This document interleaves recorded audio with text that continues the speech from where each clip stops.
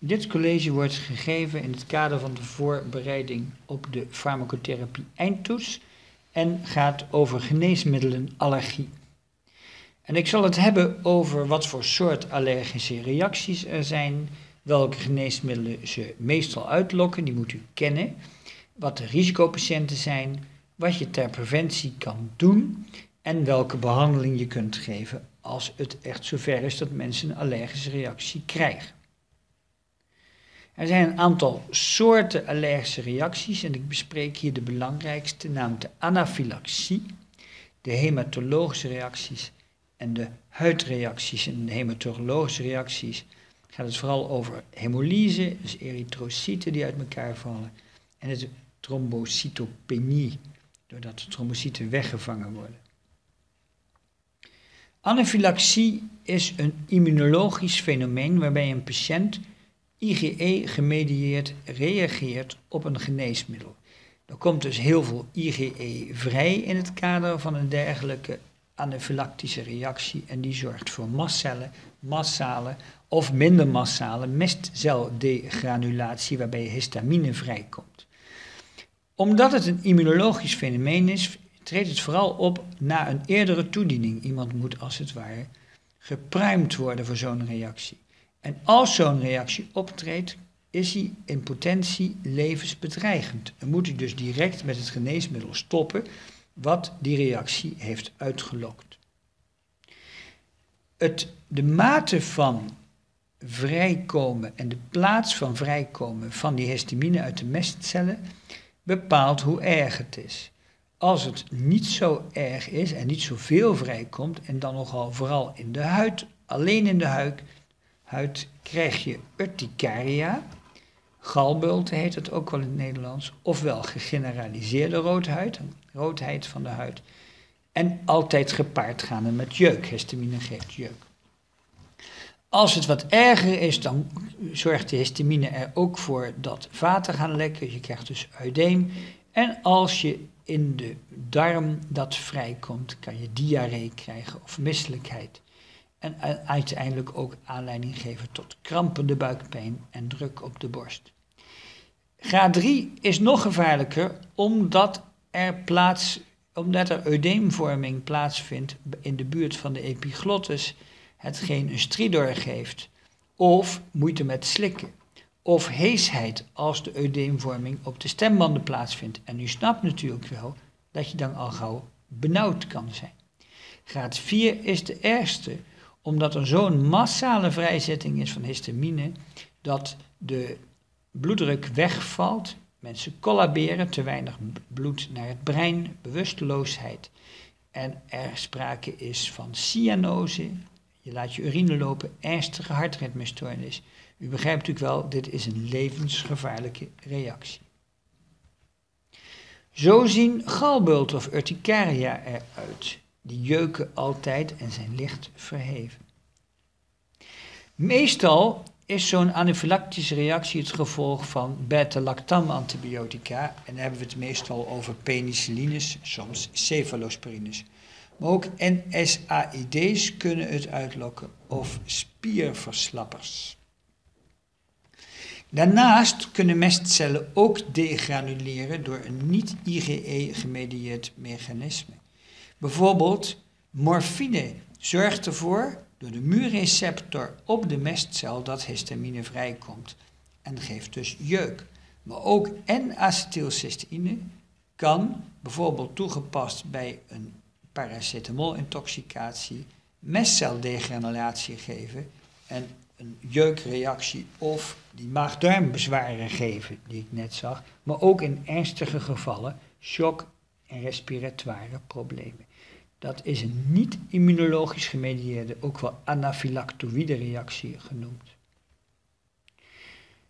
Het tweede type wat ik wilde bespreken is het optreden van trombocytopenie of hemolytische anemie.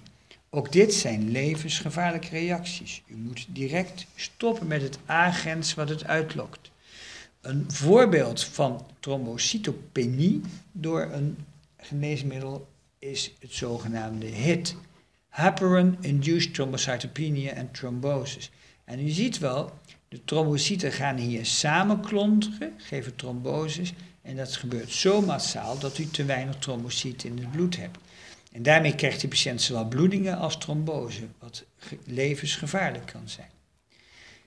Beta-lactam antibiotica, weer hè, penicillines, soms cefalosporines, kunnen ervoor zorgen dat erytrocyten kapot gaan. Een immunologisch gemedieerde allergische hemolytische anemie.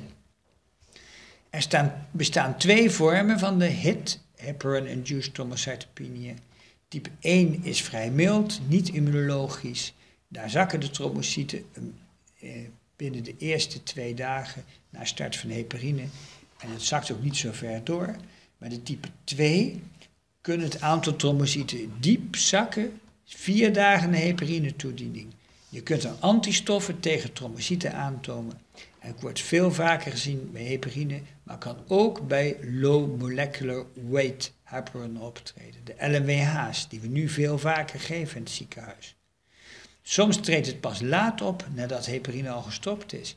En als je het één keer gehad hebt, kan het daarna veel vlotter optreden en ernstiger beloop hebben. Die type 2 moet u herkennen, omdat die in potentie gevaarlijk kan zijn en aanleiding kan geven tot ernstige tromboses en tot bloedingen. Huidreacties komen veel voor. Het zogenaamde geneesmiddelen-exantheem, bijvoorbeeld toxicodermie op amoxicilline.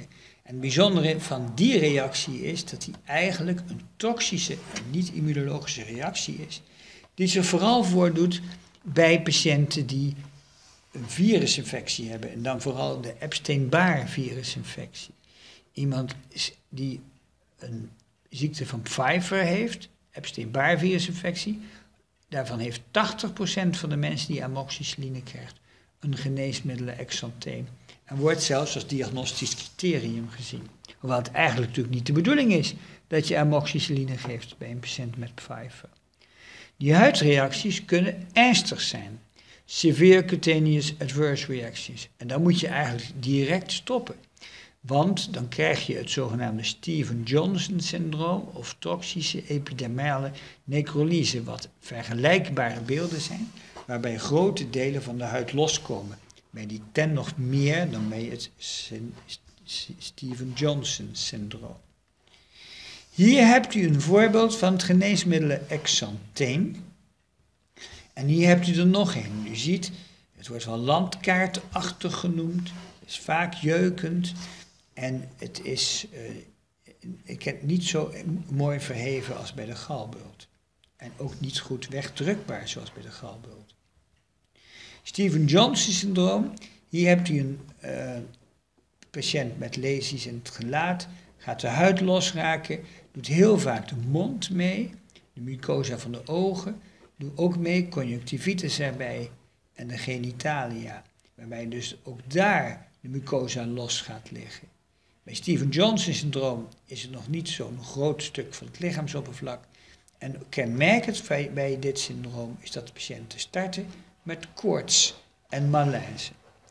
Het kan nog erger worden, meer lichaamsoppervlak doet mee, het is een beetje slecht te zien op dit plaatje.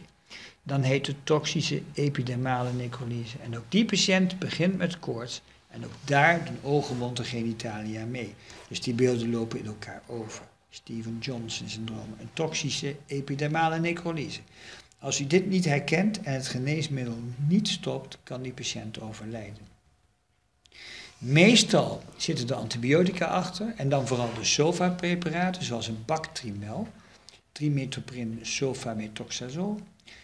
Uh, carbamazepine staat erom bekend of allopurinol. Carbamazepine wordt gegeven bij epilepsie, allopurinol bij jicht. Deze middelen moet u kennen en weten dat het risicogeneesmiddelen zijn voor als een patiënt met veel pellen opeens een Steven Johnson krijgt. Dan weet u wat de risicomiddelen zijn. Welke patiënten hebben meer risico op allergische reacties? Vooral mensen die vaak antibiotica gehad hebben, zoals ik al zei. Met chronische virale infecties, vooral de Pfeiffer, loop je meer kans. Dan heb je het eigenlijk niet om een allergische reactie. En mensen met astma en atopie hebben het niet zoveel zeer vaker, maar wel een ernstiger beloop, omdat ze toch veel makkelijker mestceldegeneratie krijgen. Wat moet je doen ter preventie en behandeling? Als iemand een dergelijke reactie heeft, moet je het stoppen. Het moet goed aangetekend worden in de status en ook wat voorreacties, zodat je het in principe niet meer geeft. Als het echt moet, kan het nog wel, maar dan moeten mensen gedesensibiliseerd worden. Mocht iemand een fluoride anafylactische reactie krijgen, dan kan je ze behandelen met adrenaline, waardoor de bloeddruk weer omhoog gaat en ook de luchtwegen open gaan. Clemastine werkt wat langzamer en zorgt dat de histamine minder goed op de receptor kan binden en minder risico geeft. En corticosteroïde zorgt ervoor dat de patiënt de komende paar dagen beschermd is. En bij een ernstige reactie worden deze alle drie gegeven. Bij ernstige trombopenie of hemolyse zou je trombocyten of, trans- of bloedtransfusie kunnen geven. Maar bedenk, als die antistoffen tegen trombocyten spelen en daardoor trombocyten kan klonteren, kan het geven van trombocyten zelfs problemen opleveren, omdat je meer klontering krijgt. Dus dat is nog niet zo gemakkelijk. Bij een Steven Johnson en TEN moet je bang zijn voor secundaire infecties. Je moet bang zijn dat mensen vocht verliezen. Moeten goed gevoed worden en in feite krijg je een behandeling die erg leidt op ernstige brandwonden. En mensen met een TEN gaan daarom ook vaak naar een gespecialiseerd brandwondencentrum. Dat was het praatje farmacotherapie, geneesmiddelenallergie.